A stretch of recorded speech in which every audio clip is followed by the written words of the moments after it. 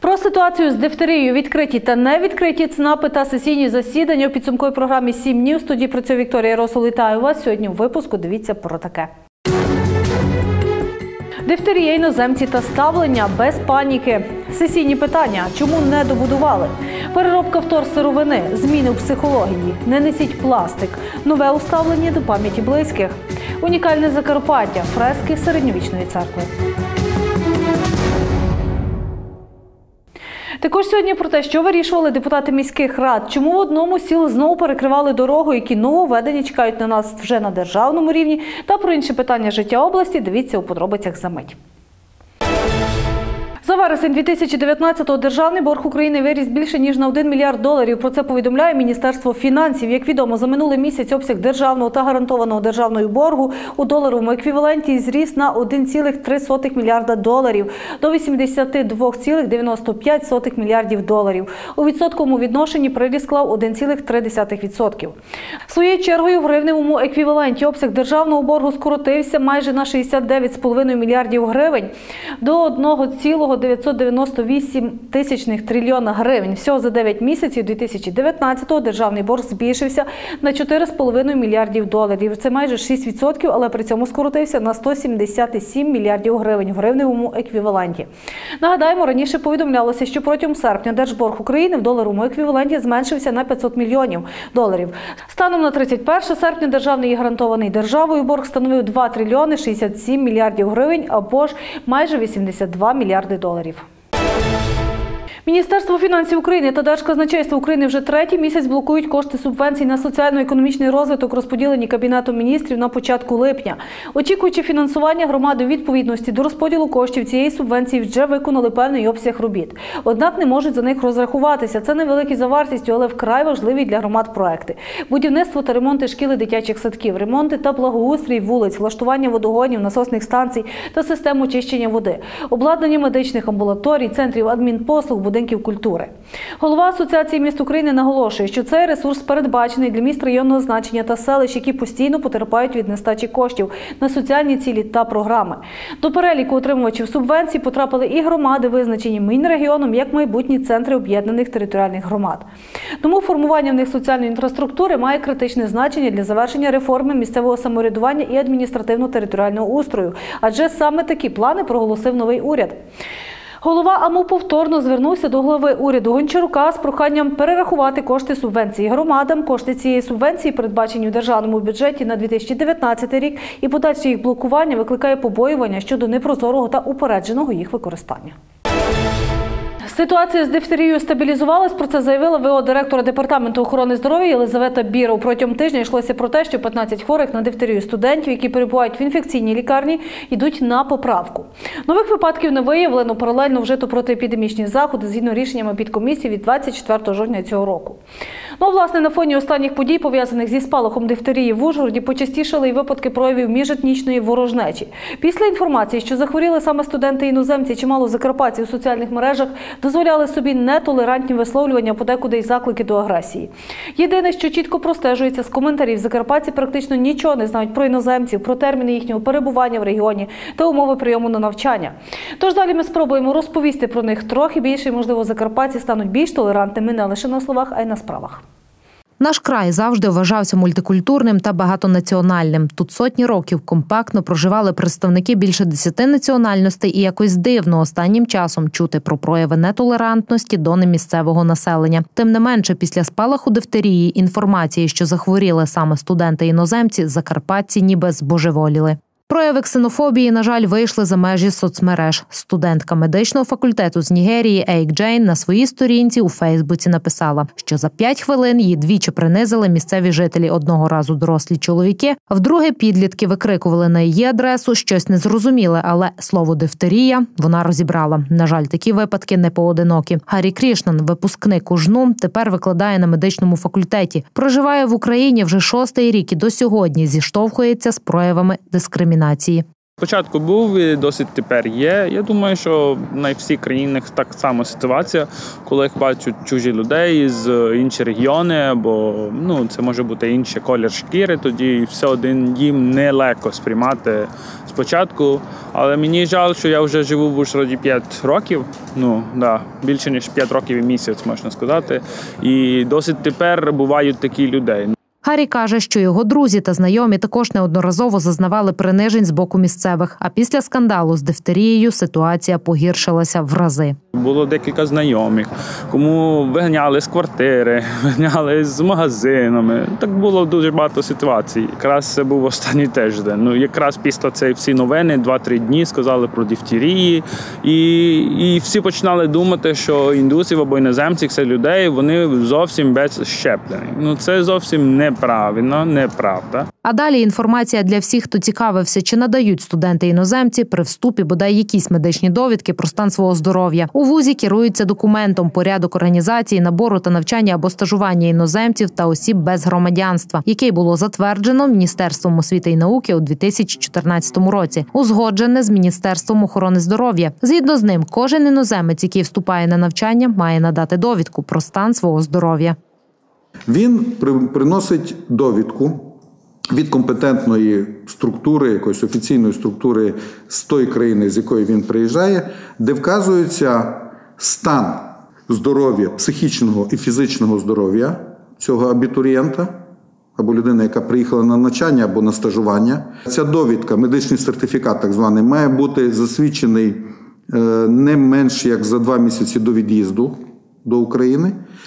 І там має бути вказано, що на той момент він не має інфекційних захворювань. На той момент, коли він приїжджає до нас. Вони також мають здати аналіз на тест на ВІЛ. Щодо щеплень, будь-який студент, який навчається на медичному факультеті в ході практичних занять, безпосередньо контактує з хворими, і вони самі зацікавлені у вакцинації. І додамо, що офіційна статистика щеплень в Індії значно переважає українську. Ширилися такі думки, що це точно інфекція, яка привезена з Індії, бо там є тисячу е, випадків на в рік дифтерії. Тисячу випадків на мільярд 300 мільйонів населення. Це значить один випадок на 130 мільйонів населення. Один випадок на 130 мільйонів. У нас до цього випадку було 4 випадки дифтерії в цьому році в Україні. Тобто 4 випадки у нас на 40 мільйонів населення. В Індії один випадок на 130 мільйонів. Так у кого гірша епідеміологічна ситуація? На Закарпатті ж взагалі найнижчий показник вакцинації в Україні. Для того, щоб інфекція не роз- розповсюджувалася, має бути кількість привитів, привитих має складати 95%. У нас кількість привитих серед е, дорослого населення, от інфографіку навіть ми публікували е, у нас на сайті університету, вона була і розповсюджена, до речі, і в мас-медіа деяких. У нас офіційно 30 34,8. Найнижчий показник в Україні. Водночас до прем'єр-міністра України Олексія Гончарука з депутатським запитом щодо забезпечення належного рівня охоплення вакцинацією та створення колективного імунітету у закладах освіти звернулися народні депутати від Закарпаття Роберт Горват, Василь Петьовка, Валерій Лунченко та Владіслав Поляк. Додамо, що обговорення у мережі показали, що чимало людей не розуміють різниці між вакцинами і сироватками. Вакцина це ослаблений токсин, який вводять людині задля вироблення антитоксичних антитіл і формування захисного імунітету. Сироватку ж вводять після підтвердження діагнозу. Коли були підтверджені випадки дифтерії, на Закарпатті було всього вісім сироваток. Однак наразі ситуацію виправляють. Ми звернулися до е, посольства Індії, щоб воно допомогло нам цій ситуації. Я спілкувався з консулом, з генеральним консулом. Вони сприятимуть тому, що е, сироватки, 100 до сироватки е, прийде, прийде з Індії. Е, Там будуть займатися питанням сертифікації цієї серватки, щоб просто вона у нас була тут Ситуація з дифтерією невдовзі владнається. Про те, чи почуватимуть себе іноземці на Закарпатті в безпеці, питання. Наразі станом на 30 жовтня в Ужну зареєстровано 1489 студентів за кордону, найбільше з Індії та Пакистану. Залишитися тут більшість з них, попри побоювання багатьох ксенофобів, не бажає заробітні плати в Україні надто низькі. В міграційній службі кажуть, що з 2014 року, а власне саме тоді студенти іноземці сюди й потрапили. Практично всі випускники із Закарпаття виїхали. Е, Зазвичай всі. Зазвичай всі, ну можливо, двоє, троє. І, це іноземці, які уклали шлюби. Варто додати, що на обліку перебувають всі без винятку студенти іноземці. Е, На період навчання, е, якщо студент прийнятий на перший курс навчання, це на 5 років. В наказі є встановлений термін, коли буде закінчено строк навчання, і на цей період видається посвідка. Якщо студент прийшов на перший курс, то вона видається на 5 років. Є студенти, які перевелися з інших навчальних вузів. Наприклад, він вже зарахований на третій курс, видається на менший період, на 3 роки до закінчення навчання. На е, періоди різні можуть бути. Е, Це в основному на який курс людина зарахована. Після закінчення навчання або відрахування з навчального закладу університет повідомляє міграційну службу про необхідність скасування посвідки на тимчасове проживання. Після прийняття відповідного рішення обов'язок іноземця знятися з реєстрації місця проживання та протягом семи днів виїхати за межі України. Клопотати про дозвіл на імміграцію в Україну іноземець може у випадку Однією з умов для подачі документів на отримання дозволу на імміграцію. Це є або перебування у шлюбі з громадянином України понад два роки, або е, діти громадяни України, або батьки е, громадяни України, або батьки, які народилися в Україні. Нас зацікавило, скільки шлюбів з іноземцями уклали закарпатці з початку року, і ми звернулися до головного територіального управління юстиції в Закарпатській області. Взагалі, у нас шлюбів за 9 місяців, складеному органами державної реєстрації, це 5603 шлюби. Із них у пілотному проєкті це 597. Ну, і з цих 597 шлюбів за добу 94 шлюби це з іноземцями. Це Республіка Азербайджан, обоє були громадяни Республіки Азербайджан, вирішили укласти шлюб тут. Чеська Республіка, Словацька, Російська Федерація, дуже багато таких е, Вірменія. Були шлюби із індусами, із йорданцями. Власне, такі міжнаціональні міжетнічні союзи не рідкість вже ніде. За кого виходити заміж чи на кому одружуватися, де вчитися і як особиста справа кожного, і це право варто поважати. І на сам кінець ні, ми не переконані, що всі іноземці законослухняні, добрі й вічливі. Однак давайте не забувати, що за кордоном перебуває більше трьох мільйонів українців. Декотрі з них нерідко стають учасниками гучних кримінальних історій, і дуже неприємно, що усіх українців судять за діями одиниць. То можливо і нам не варто робити якісь висновки про цілі народи і вдаватись до образ через неправильне громадянство чи інакший колір шкіри. Далі в випуску мої колеги в продовження теми. Ситуацію зі студентами прокоментував і колишній ректор УЖНУ Федір Ващук. Він каже, для навчання іноземців має бути спеціальна процедура для освітніх послуг. Вона суттєво відрізняється від вимог для звичайних студентів. Він каже, для навчання іноземців має бути спеціальна процедура для освітніх послуг. Виш не, має права приймати студентів іноземців, якщо для цього не створені виші відповідні умови. Е, Ми ся- не будемо сьогодні торкатися до тих умов, що має бути відповідно забезпечені навчальні курси там на відповідь на англійській мові, або студенти повинні володіти вільно мовою навчання, в даному випадку українською мовою. Е, Ми, але крім того, е, вуз, вуз повинен створити належні, належні умови для навчання, матеріальні умови для студентів, тобто побутові умови. Е, Передбачається, що студенти повинні мати окремий гуртожиток, або хоча б окремий блок, або окремі там, поверхи у студентських гуртожитках. Жоден не проживає в гуртожитку. Вони всі прийняті фактично до навчання з порушенням. Вони шукають собі квартири, вони шукають там, укладають якісь угоди, там, ми знаємо, на світанку, на турбазі, потім в готелі Закарпаття, ну, в інших місцях. І про санітарний стан помешкань і приміщень, в яких проживають студенти іноземці, е, нашого університету. Просто вже про це ходять легенди в Ужгороді. Федір Ващук каже, вуз повинен створювати ці умови в гуртожитках, адже часто можуть виникати питання щодо умов проживання. Студенти іноземці обов'язково е, е, повинні проходити відповідні медичні огляди і подавати е, в пакеті документів для отримання дозволу на проживання для, з метою зарахування і після зарахування на навчання відповідні медичні ну, наслідки медичного обстеження. І е, очевидно, я не медик, туди повинні входити, так як і все передбачено в всьому світі, в європейських вишах, і це, це результати прививок на різні інфекційні захворювання. Виникає питання, чи потрібна вакцинація від тих інфекцій, які є обов'язковою Україні, куди прибувають іноземці. Ви не отримаєте візу, навіть у якщо ви е, є багато країн, які мають електронну візу дають на кордоні. І в переліку умов для отримання цієї візи ви маєте повинні навіть на кордоні показати так відповідні е, ну, наслідки, ну, що ви вакцинувалися, там щеплення та інші огляди і так далі. Що стосується е, в'їзду в Україну, просто в'їзду в Україну, то таких таке не передбачено, наскільки ми знаємо іноземців. І Україна з більшістю України має безвізовий в'їзд і так далі.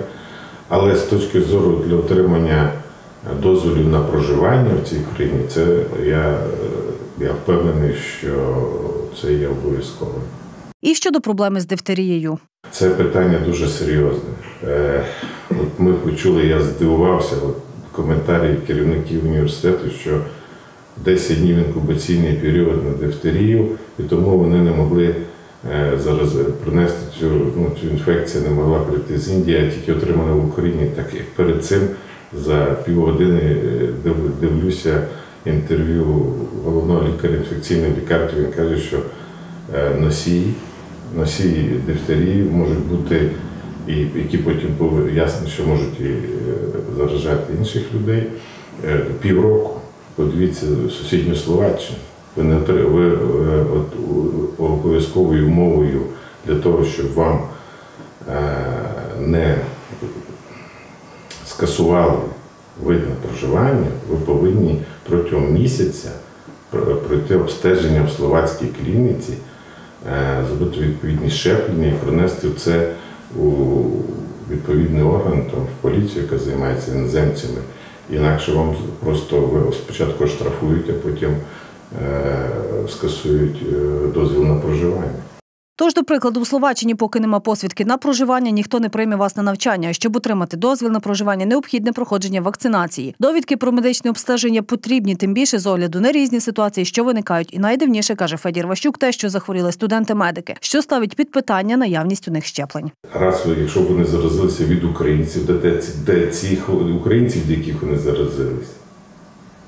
Де логіка в цьому питанні? Тому тут треба більше не звалювати як з хворої голови на здорову, а зайнятися серйозно е, питанням обстеженням, вакцинацією і в майбутньому не допускати е, таких випадків і особливо санітарно-побутовими умовами перевірити всіх студентів. Аби ж подібних ситуацій не виникало, потрібно усувати перш за все причини. Треба не з наслідками боротися, а з причинами. Е, Це потрібно чітко, по-перше, навести порядок. Е, Зараз, в першу чергу, це звичайна вакцинація. Е, Друге, це внутрішні можна додати, додати в правила прийому іноземців виші, ну, зокрема, у нас університет може як обов'язково від себе відповідно довідки про щеплення, щоб цього не повторювалося. І втретє, третє, це е, потрібно дуже жорстко контролювати умови проживання цих іноземців. І у підсумковій програмі ми розкажемо далі про таке. Народні депутати України Роберт Горват, Валерій Лунченко, Василь Петьовка та Владіслав Поляк надіслали колективний депутатський запит до прем'єр-міністра України Олексія Гончарука через нещодавній спалах дифтерії у місті Ужгород. У запиті серед іншого йдеться про необхідність забезпечення належного рівня охоплення вакцинацією та створення колективного імунітету у закладах освіти, а також організацію відповідного контролю під час допуску абітурієнтів та студентів до освітнього процесу. Народні депутати звертають увагу на те, що рішенням Міністерства охорони здоров'я у 2018 році була скасована необхідність вести медичні картки студентів та зберігати їх у відповідних навчальних закладах, оскільки така практика порушувала право пацієнта на медичну таємницю, передбачене українським законодавством. Окрім того, медична довідка нині не вимагається при прийомі абітурієнтів на навчання у вітчизняних вишах усіх форм власності. Відтак, народні депутати Горват, Лунченко, Петьовка та Поляк своїм запитом просять прем'єр-міністра Олексія Гончарука надати інформацію щодо проведення профілактичних і протиепідемічних заходів в Україні, а також поінформувати про реалізацію державних цільових програм у сфері захисту населення від інфекційних хвороб. Окрім того, депутати звертають увагу на необхідності забезпечити належний рівень вакцинації та створення колективного імунітету у закладах освіти. Водночас із відповідним контролем у процесі допуску здобувачів освіти до навчання та навчальної практики. Звертають увагу нардепи і на критичну ситуацію із нестачею сироватки, необхідної для лікування дифтерії. Через відчутну потребу та гостру відсутність сироватки наразі виникла критична ситуація по всіх областях України. А зволікання із сертифікацією та подальшою закупівлею сироватки ставить під загрозу життя та здоров'я наших громадян, викликає загрозу виникнення епідемії в цілій країні. Нагадаємо, минулого тижня в обласному центрі Закарпаття зафіксували спалах смертельно небезпечного недугу дифтерії, на яку захворіли 15 студентів Ужгородського національного університету. Усі вони потребують лікування спеціальною сироваткою. При цьому на території області станом на минулий тиждень знаходилось усього 8 доз препарату, необхідного для лікування хворих. Відтак ліки довелось терміново звозити із сусідніх регіонів держави. За даними МОЗ, в Україні станом на 28 жовтня 2019 року зареєстровано 20 випадків дифтерії. Із них 18 людей захворіли протягом жовтня. 5 випадків захворювання підтверджено лабораторно в Луганській, Хмельницькій, Закарпатській, Тернопільській та Київських областях. У 2018 році в Україні зафіксували 10 випадків дифтерії. І до інших тем, ще в серпні цього року прокуратура оголосила про підозру п'ятьом членам ДВК в селі Суха Іршавського району, які під час парламентських виборів 2019-го незаконно видали бюлетені для голосування для осіб, що перебували під час проведення голосування за кордоном. 29 жовтня 2019-го розпочалося вже друге засідання Іршавського районного суду щодо цієї справи. Засідання про обвинувачення Поран Світлани Михайлівни за частину 2 статті 158 значком 1 КК України. Відомо, що на окрузі, де були зафіксовані порушення виборчого законодавства, переміг Віктор Балога. За нього проголосували 35,81 виборців. Кандидат від «Слуги народу» Едгар Токар, який нині фігурує в судовій справі як потерпілий, тоді став другим і отримав 34,47%. Однак судовий процес закінчився так і не розпочавшись. Суддя, заслухавши думки прокурора та представників обох сторін, ухвалив рішення перенести розгляд справи через неявку на судовому засіданні потерпілого. Представник потерпілого є, однак немає жодного підтверджуючого документа, який би свідчив про те, що потерпілий не бажає брати участь у підготовчому засіданні.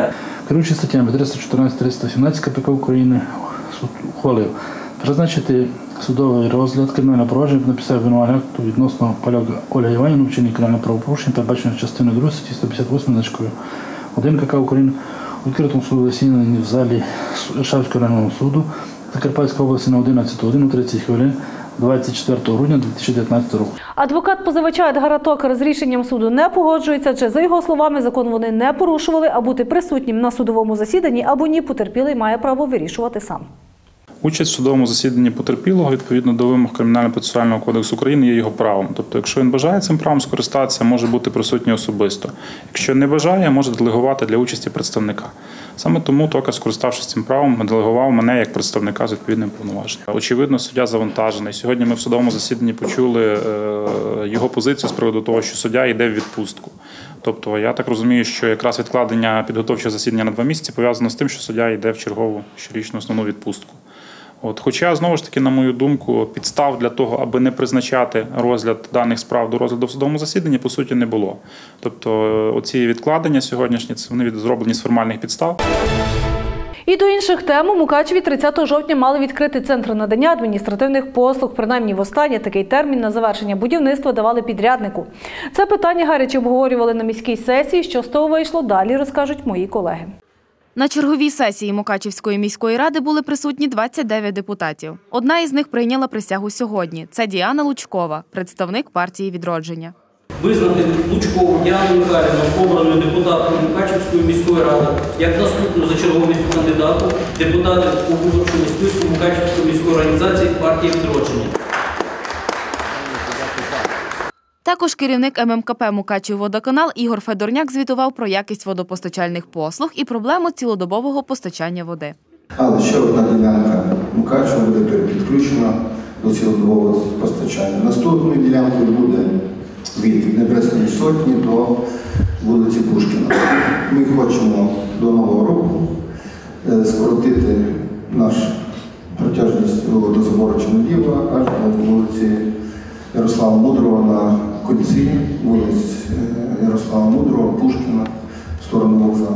Відтепер будуть прийматися радикальні міри щодо контролю оплати водопостачання. Відтак люди з великою заборгованістю з'являтимуться на місцевих білбордах. Висвітлення боржників на бікбордах. Місто Мукачево, я вже домовленість з фірмами, де е, надають ці площі. Я думаю, що якось будемо трошки взивати до свідомості наших мешканців, які будуть це бачити. Таким чином, думаю, що додатково е, зможемо отримати кошти. Відповідно до нового закону про житлово-комунальне господарство, після е, ми даємо термін місяць на е, сплату боргу. Після цього буде повідомлення і припинено водопостачання і водовідведення. Було прийнято рішення про виділення більше мільйона гривень на подарунки до зимових свят дітям. Їх отримають усі вихованці дитсадочків, шкіл та НВК міста. Просимо затвердити дану програму. Обсяг фінансування програми 1 мільйон 179 тисяч 900 гривень. Е, Закупівля подарунків для 17 тисяч дітей.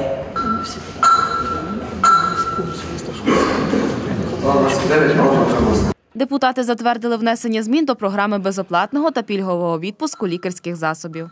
Пропонується збільшити обсяг фінансування програми в розмірі 100 тисяч за рахунок коштів державної медичної субвенції та відшкодування вартості інсулінів для хворих на цукровий діабет. Прошу підтримати. Щодо будівництва ЦНАПу, його було розпочато у 2018 році і на 1 січня 2019 року мав бути завершений. Здачу об'єкту переносили кілька разів. 30 жовтня закінчилася додаткова угода на виконання ремонтних робіт, а установа так і не введена в експлуатацію. Ну, сума, основна сума була виділена 34 мільйона, із них 25 було використано. І діючий договір, е, основний договір діє до 31 грудня 2019 року. Ну, стосовно нашої комісії, як була утворена, е, підрядчик попросив, щоб ми продовжили дію договора, е, додатково склали угоду для того, щоб він мав право виконувати якісь роботи. На будівництво установи було виділено 34 з гаком мільйони. Про об'єм виконаних робіт розповів нам Олександр Переста. Е, Ну, ми ж не мали можливості документи повністю перевіряти, ми контролювали їх хід роботи. І він сказав, що він вже використав 25 мільйонів.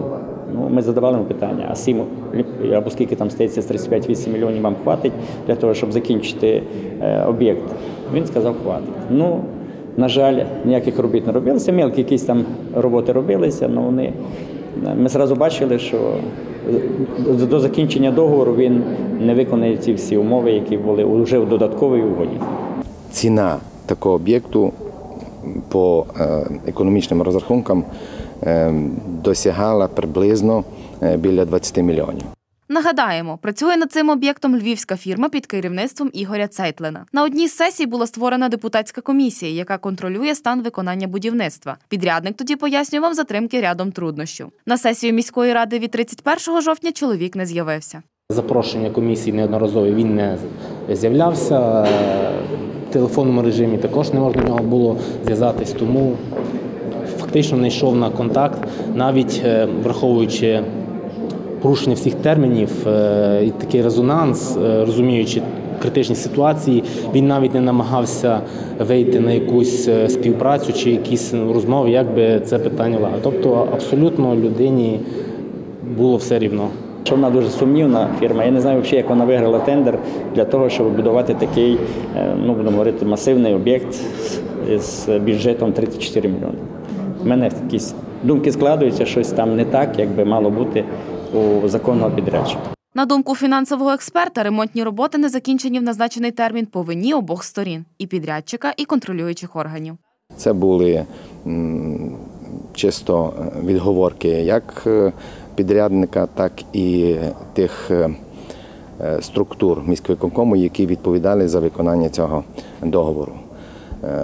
Я хочу наголосити, це е, відділ е, комунального будівництва. Я вже не раз наголошував, що вони не контролювали, а максимально робили все для того, щоб захистити цього підрядника. Не знаю чому. Я вважаю, що це було е, завідомо знано. І ці чиновники, я думаю, були, ну, м'яко кажучи, у зговорі із, у зговорі із е, цими підрядними підрядчиками. Наразі відділ капітального будівництва має розірвати угоду із виконавцем і накласти штрафні санкції на підрядну фірму. Підрядник не врахував жодних рекомендацій комісії, і виходячи з цього, комісія рекомендує звернутися замовнику, тобто відділу капітального будівництва до підрядника з повідомленням про ініціативу розірвання договору на підставі пункту 68 даного договору. І рекомендувати замовнику, тобто ВКБ, надалі нарахувати штрафні санкції, передбачені даним договором, та проводити претензійну роботу. Е, Я думаю, що е, відповідальність підрядник має нести не тільки е, за зрив договірних умов, а й чи не було завищені ціни на матеріали і інші будівельні роботи, які завищені ціни е, щодо використання е, і оплати своїх, е, своїх працівників. Якщо підрядчик не завершить будівництво установи, то з початком нового року буде проведена чергова тендерна процедура на вибір підрядної фірми. щоб з перших чисел січня випуску без діяльності даного підрядника можна було оголосити вже тендер для того, щоб завершили роботи іншого установи. Варто додати, що скоріш за все будівництво ЦНАПу потребуватиме дофінансування. На ту частину, яка не виконана, потрібно проводити коригування е, щодо цін е, сучасних, тобто теперішніх. Після цього це коригування також йде на експертизу. Після цього вже, тобто я думаю, що звичайно, що зростуть е, вартість робіт. Тобто залишок зараз десь біля 7 мільйонів. Ну тобто він збільшиться фактично, тому що вперше збільшилась з 16 року як не як зарплата. Ну звичайно, матеріали, тобто ціни ростуть, то думаю, що однозначно буде збільшення. Тож скільки ще буде затягуватися будівництво ЦНАПу та скільки коштів із міського бюджету ще буде використано, невідомо. Так само, як і невідомо, чи буде хтось покараний за надмірну розтрату коштів платників податків. Адже йдеться про півтора десятка мільйонів перефінансування та витрат коштів, про які говорять аналітики. Зрив процесів здачі в експлуатацію та невиконання зобов'язань питання наразі відкрите. Позачергова сесія Ужгородської міської ради була гарячою. На порядку денному всього два питання, проте розглядали їх півтори години. Депутати не задоволені процесом розподілу коштів на проекти бюджету громадських ініціатив, половина з яких так і не реалізовані. Окрім того, присутні на засіданні голови ОСББ міста обурені, що черга до ремонту їх будинків руками не доходить. У 2016 році по громадському бюджету реконструкцію футбольного поля. Ви про це знаєте. Я до вас вже ходжу третій рік. Ви про нас знаєте. Ви кажете, що ви робите школам футбольне поле.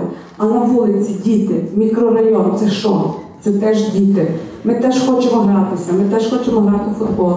Ми хочемо, щоб наші діти не сиділи в телефонах. Виділено 300 тисяч, а проєктанти написали на 420 тисяч. Ми можемо встановити правила гри, і люди мають ну, знати, скільки проєктів буде реалізовано,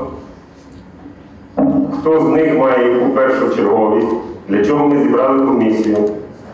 Ми ж на профільній комісії постійно визначаємо пріоритети, які, на жаль, не виконуються.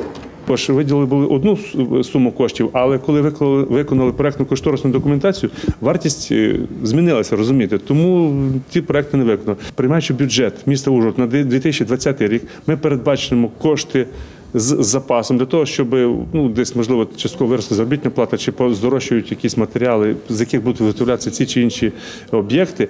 Ми з запасом виділимо кошти для того, щоб максимально я не хочу говорити всі, бо можливо якісь будуть технічні проблеми, але щоб максимальну кількість об'єктів ми в 2020 році змогли профінансувати і виконати. Покрівлі, електрощитові, водопровід, каналізація, 120 об'єктів стоять в черзі на ремонт за кошти міського бюджету чи за умов співфінансування, які з року в рік перекладаються. Всі ці будинки, е, про які ми сьогодні е, ну, розмовляли, це є приватизовані е, квартири у багатоквартирних будинках. В місті Ужгороді є програма співфінансування капітального ремонту житла мешканців нашого міста. За співфінансування у відсотках це 20% мешканці платять, 80% з бюджету міста. У нас є запитів ну, десь на 300 мільйонів. Розумієте, ми звичайно не маємо таких коштів для всього міста, але найбільш критичні будинки ми вибираємо комісійно і там проводимо ремонт. На цьому тижні в селі Красна відбувся мітинг з перекриттям руху на автодорозі обласного значення Бедевля Ущорна Колочава. Автошлях мітингувальники перекрили для всіх автомобілів, окрім екстрених служб. Краснянці пояснюють, пішли на такий вимушений крок, адже дорога через село в катастрофічному стані. Громада хотіла заявити про те, що вони далі не можуть вже терпіти. Це вже крик душі, відчай людей, які е, мають автомобільні засоби, а- автомобілі. Е, Даною дорогою діти пересуваються шкільним автобусом, під'їжджають, є до- довіз е, дітей до школи.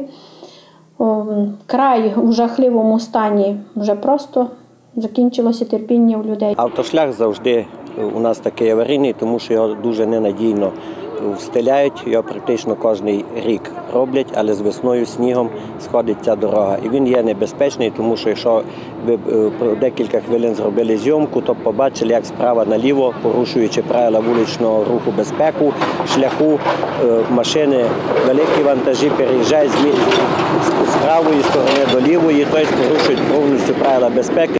Жителі Красної переживають за безпеку дітей. А дітей, діточок возити в школу каже на автобус по таких дорогах. Як діточкам там? Що він буде слухати на уроці? Якщо не витрясе, так що у нього в голові шумить. Діти із школи їдуть, об'їжджають, оце не знають, куди відступатися від е, машини. Я не знаю, що ще казати. Ну, дорога в дуже ужасному стані. На капітальний ремонт дороги обласного значення Бедевля Ущорна Колочава від німецької мокрої до транспортного моста в селищі Дубове кількома роками раніше вже було розроблено проектну кошторисну документацію. Недерною процедурою визначено підрядника румунську фірму Трамеко. Частину шляху, а саме в межах сіл Німецька Мокра та Руська Мокра, відремонтовано цією фірмою. Ось кількома тижнями тому проведено ремонт дороги між Ущорною та Красною, який виконував вже субпідрядник фірма Стік. Ну а шлях у межах села Красна досі залишається аварійним. Нещодавно представники обласної, районної та сільської ради обговорили питання ремонту в Красній, тоді ухвалили компромісне рішення. присутності голови адміністрації, начальника департаменту автомобільних доріг області було пообіцяно нашими районними керівниками, що вони переговорять з підрядною фірмою, і підрядна фірма погодиться виконати дані роботи на відрізку 1 кілометр, які вже вкрай жахливому стані в нашому селі в борг. А будуть розраховуватися з обласних коштів, які надійдуть в область до кінця листопада. Це рішення було прийнято десь місяць тому, але як бачите, Наразі селяни просять владу 10-денний термін розпочати ремонт дороги. В іншому випадку з 11 числа автошлях перекриють на безстроковий термін. Водіїв будуть штрафувати за перевезення дітей без автокрісла. 29 жовтня Верховна Рада ухвалила закон щодо встановлення відповідальності за порушення правил перевезення дітей. За законопроект проголосували 332 народні депутати. Так, за порушення правил перевезення дітей водій отримує штраф в розмірі 30 неоподаткованих мінімум 510 гривень. При повторному порушенні штраф 850 гривень. Заборона перевозити дітей віком до 12 років із ростом до 145 см у машині без використання спеціальних засобів, які дозволяють пристебнути дитину пасками безпеки, існували раніше, але штрафи були не передбачені. Ну а Кабінет міністрів України планує скоротити 18 тисяч 449 співробітників районних державних адміністрацій. Про це у Фейсбук повідомив міністр Кабінету міністрів Дмитро Дубілет, стверджуючи, що рішення про скорочення було непростим, але необхідним. Воно потрібне, щоб суттєво підвищити ефективність роботи державних органів. До обговорення залучили профільні міністерства, також співробітників обласних адміністрацій та райдержадміністрацій. Частина функцій дублюватиметься з об'єднаними територіальними громадами. Частина виявилася застарілими, частина передається на вищий рівень, частину об'єднають. Про це сказав пан Дубілет. Ну а співробітників, які потрапляють під звільнення, попередять про це за два місяці. Виплатять їм всі компенсації. І Кабмін буде шукати зі службою зайнятості нові робочі місця для звільнених співробітників адміністрацій.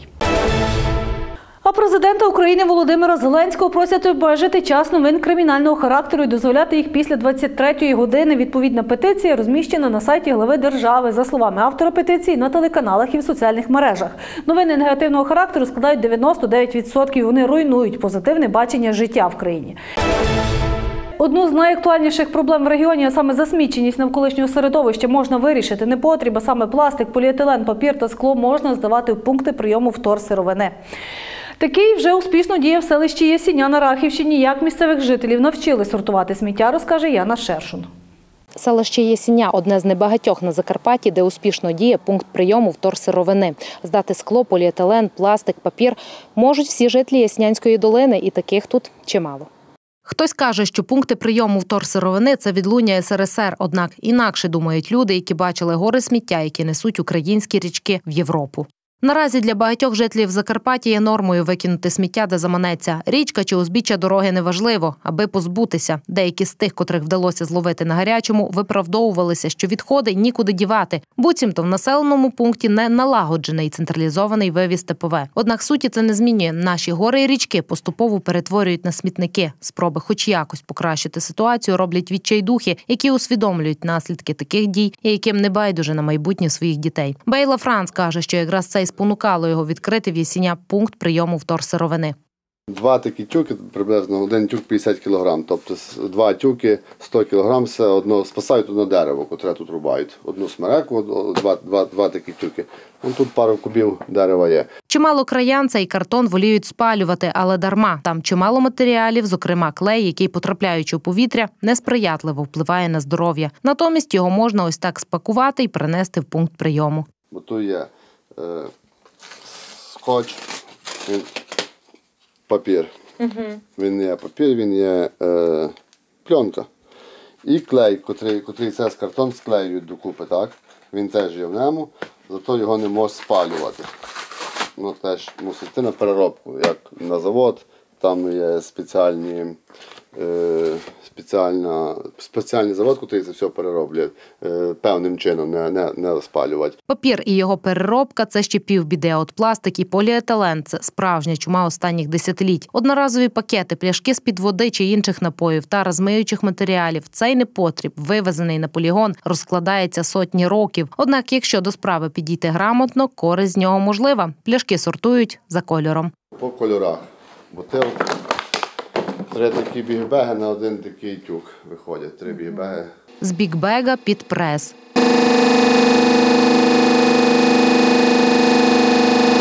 Потім вже спресований тюк везуть на завод, який бере сировину в обробку. Важливо дотримуватись принципу поділу пластику, оскільки кожна пляшка може бути виготовлена з якогось іншого виду.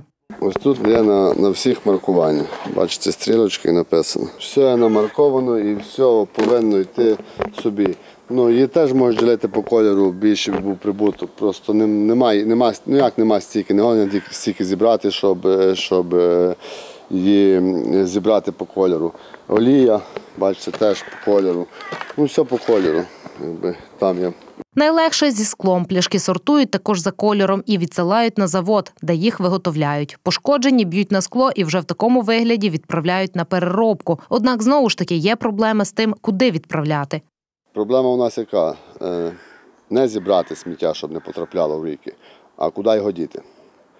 Е, Я, я працюю над сортувальною лінією, щоб встановити її тут. Тоді, тоді можеш його зібрати і кудись привезти. Посортувати лишається, як я так руками сортую кустарним способом, то лишається 20% десь сміття.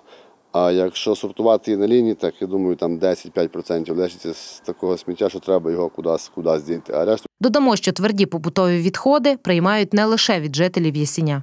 Цей підприємець він сам обслуговує ще два сусідніх села е, Чорну Тису та Лазіщину. Ну, наша ціль одна, щоб то не попадало в річку і аби не порушувати екологію. За здачу вторсировини, звичайно ж, передбачено винагороду. Можливо, вона незначна, але якщо подумати, наскільки гострою є проблема зі сміттям у нашому регіоні, стає приємно долучатися до його зменшення. Навчити жителів Єсінянської долини сортувати сміття виявилося неважко, запевнив Бейла Франц. До речі, невдовзі подібний пункт прийому мають відкрити і в Рахові.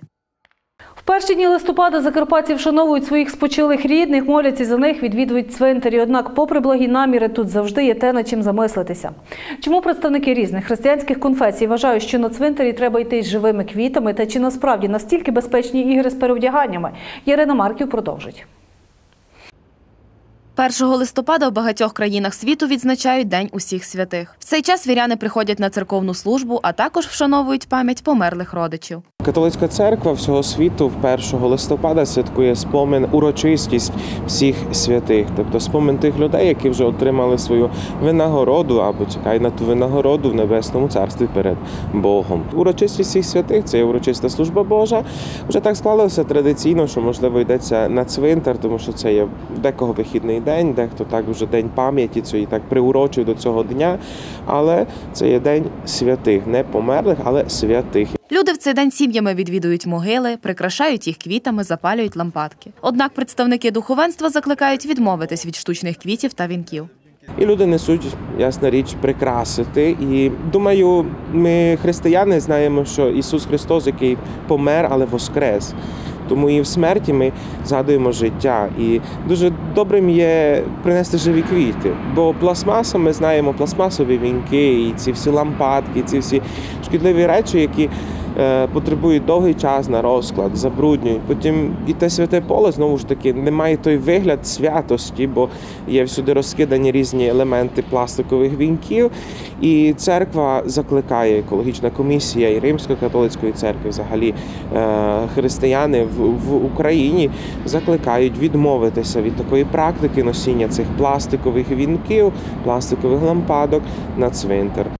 Останнім часом в Україні набирає обертів ще одне свято Хеловін. Вже багато років його відзначають напередодні у ніч з 31 жовтня на 1 листопада. Можливо, це, це було початки 2000-х, можливо, трошки перед початком 2000-х, коли вже почало масово якось входити якась американська мода. Це можемо сказати. Зараз зараз є модно, але не знаємо, що буде через декілька років, бо мода є такою змінною. Бо це я би більше назвав це свято якоюсь модою. Так, знайомство з якоюсь новою культурою, і після цього є е, вживання цієї моди. Історія його розпочалася кілька століть тому на землях сучасної Великої Британії і Північної Франції. Тоді на території проживали кельтські язичницькі племена, які відзначали свято завершення сільськогосподарських робіт Самайн, що було пов'язане, крім усього іншого, із шануванням мертвих. Язичницькі традиції Самайна знайшли своє відображення у сучасному Хеловіні, хоча сама назва свята перекладається як ніч перед днем усіх святих. Тому тут не мало бути місця всім так званим сатанинським речам. Є припущення, що після значного поширення традицій Хеловіна на його противагу католики прийняли рішення запровадити 1 листопада як День святих. Хеловін ем, це є традиція у американській, можливо, так з американської традиції, англосаксонська спочатку, але потім американська традиція, яка е, святкує перед день, можливо, так, ніч перед тим уроч... перед тою урочистістю. Halloween, тобто вечір перед святими, можна так перекласти. Ем, єдина проблема, що в тому нема нічого святого, якщо ми так подивимося на ці святкування, які є зараз в теперішньому стані, нема цих дійсно святкувань якихось святих, тому що е, одягаються в яких, якусь нечисть, якихось демонів, якийсь диявол, якихось відьом. І немає якоїсь тої логіки, чому цей день приурочений до святих, якщо святкується якась нечисть, якийсь сатана, якийсь диявол. Щороку все більш масштабно відзначають Хеловін на Україні. Люди охоче вибирають костюми, прикрашають будинок, купують цукерки і роблять страхітливий грим. А ввечері веселяться і ходять до сусідів за цукерками і грошима з фразою гаманець або життя. Сьогодні це свято є своєрідним комерційним заходом.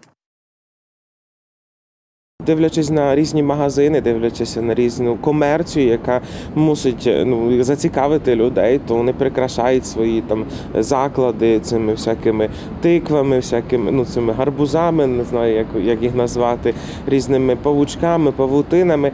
Ну і знаєте, який вплив, тому що. Ну, це саме е, саме заклад, що можливо і накликає таку нечисть до того. За словами отця Сергія, Хеловін – це карнавал, що захоплює дітей і молодь яскравістю образів і видовищем. Такий маскарад, бо це є добре для дітей, ми знаємо добре. Але цей маскарад ми маємо певним чином такий карнавал, переодягання в якісь речі, то є, наприклад, вертеп на Різдво, або карнавал перед е, таке ще поняття як фашіанги, перед е, пісни. По постом є такий цей тиждень, де е, є така можливість карнавалу, такого весілля, можливо, таке на закінчення того звичайного періоду перед постом, то там є карнавали. Оце добра така традиція, в якій не якась нечисть, але щось таке позитивне і радісне ми святкуємо. Церква ж закликає відмовитись від святкування подібних заходів. Не співпадає, не співпадають поняття, якби щось нечестиве із чимось святим. Тому і запрошення до таких всіх людей відмовитися від таких речей. Не належить це до культури християнської, не належить це до понять релігійності якоїсь. Якщо йдемо, боячись від тих відьом, одягаємо чи своїх дітей, чи себе в якісь відьомські костюми. В будь-якому разі святкувати чи ні справа кожного. Якщо Хеллоуін для вас хороша нагода відпочити з друзями, то чому б і ні? Просто не надавайте цьому святові якогось особливого сакрального значення.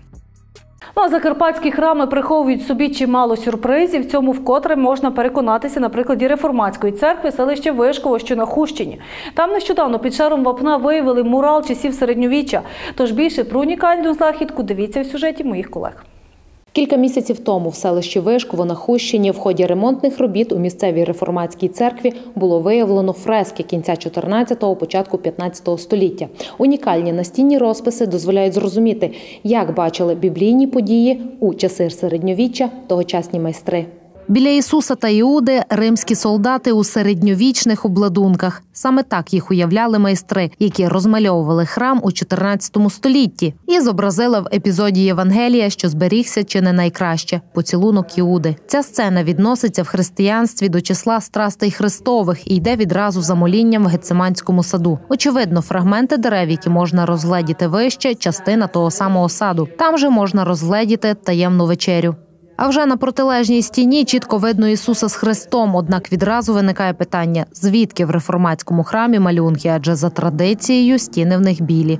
Коли людина зайде е, в реформатську церкву, то простоту бачить. Нема ні ікони, нема тих пишностей, дуже поетанна церква. Храм у Вишкові звели ще у 13 столітті, а можливо й швидше. Просто перша згадка про нього відноситься до 1281 року. Швидше за все, тоді церква була дерев'яною, а теперішня будівля це вже 14 століття. І власне зводили її як католицьку, адже про реформацію йдеться лише з 1517 року. Костел е, е, був освячений на честь Святого Миколая і е, до 1524 року був костелем католицьким, і потім воно переходить у лоно реформатської церкви. Вишківський храм перебудовували кілька разів у 14-16 століттях, 18-му та на початку 20-го. І під час ремонтних робіт у вівтарній частині віднайшли фрески і 18 століття. В 1789 році був списаний списана стеля, також і, і, і сам костел. З е, 1717 року по 1789 року е, костел стоїть в ці, цей період без даху, тому що татари знищили, знищив поселення і не були кошти, не були сили, щоб знову костел відновити. Пензлеві майстра, який розмальовував вівтарну частину, належать і роботи з художнього оформлення стелі храму, а також церковних парт. Ми можемо почитати навіть е, на латинській мові мецената, хто фінансував е, покривлю, дерев'яне склепіння і, і потолок. Це є Антоніус Валлі, звали його. Також є е, е, е, зазначені на стелі майстри, котрі будували потолок. Храм наразі діючий, тож можливість побачити цікаві розписи мають всі охочі. Тож натхнення вам на весь тиждень наступний бажаю. Це була підсумкова програма «Сім днів. В студії працювала Вікторія Росул. Тримайтесь, все буде добре.